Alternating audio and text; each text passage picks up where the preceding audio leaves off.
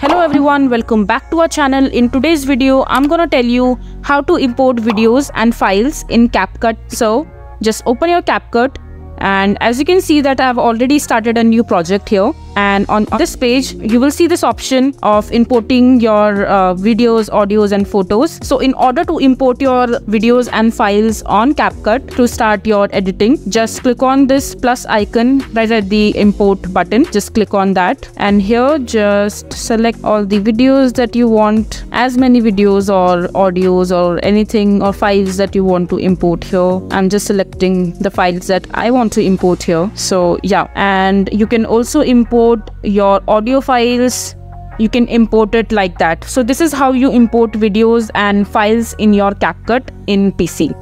if you find this video to be helpful make sure to hit that like button and don't forget to subscribe to our channel for more such informative videos and I'll see you the next time